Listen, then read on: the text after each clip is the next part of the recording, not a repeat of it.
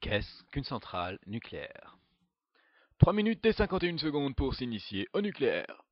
Une centrale nucléaire fait bouillir de l'eau pour actionner des dynamos. Mais qu'est-ce qu'un réacteur nucléaire? Un réacteur nucléaire utilise un combustible, généralement de l'uranium. L'uranium est le plus lourd atome qui existe naturellement en grande quantité. L'uranium est naturellement radioactif.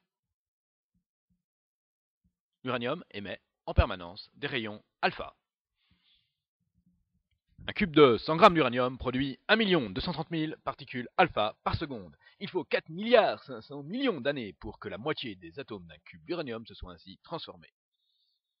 Quand on parle de radioactivité naturelle, on parle souvent des rayonnements alpha. Mais ce n'est pas cette radioactivité qui présente un intérêt pour une centrale nucléaire. 7 atomes d'uranium sur 1000 sont fissibles. Un atome fissible est un atome si lourd qu'il peut se casser. L'uranium fissible se casse en deux gros atomes et en 1 à 3 neutrons. C'est cette fission qui est utilisée dans les centrales nucléaires. Car en se cassant, un atome dégage énormément de chaleur. Dans un réacteur nucléaire, on aide les atomes à se casser en les bombardant avec des neutrons.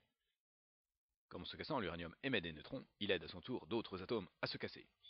Du coup, un des enjeux d'une centrale nucléaire est de garantir que la réaction ne devienne pas incontrôlable. Bilan. Principe d'un réacteur nucléaire. Bombarder de l'uranium avec des neutrons. Équilibrer la fission pour éviter une catastrophe. À quoi ça sert?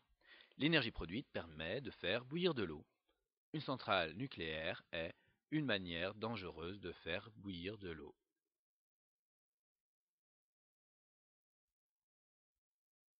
à la fin, qu'est-ce qu'on a produit?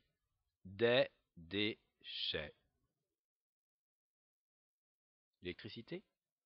Les centrales nucléaires produisant énormément d'électricité, nous avons accumulé les retards en efficacité. Les centrales nucléaires incitent au gaspillage, maximalisent les besoins en électricité. L'électricité n'est qu'une production éphémère des centrales nucléaires. Ce n'est pas une production durable. La fission produit énormément de déchets radioactifs, mais ceux-ci ne disparaissent pas. Les déchets produits aujourd'hui seront toujours aussi dangereux pour les petits-enfants des petits-enfants des petits-enfants des petits-enfants des petits-enfants des petits-enfants des petits-enfants des petits-enfants des petits-enfants des petits-enfants des petits-enfants de nos enfants. Chiffre officiel de l'Andra. Plus de 1 million de mètres cubes de déchets produits jusqu'en 2007. Plus de 2 millions de mètres cubes de déchets en 2030. L'électricité n'est massivement produite que ponctuellement les déchets vont rester durablement dangereux. L'industrie nucléaire laisse un cadeau durablement mortel aux civilisations à venir. Bilan Qu'est-ce qu'une centrale nucléaire? Une centrale nucléaire est juste une usine de production en masse de déchets radioactifs.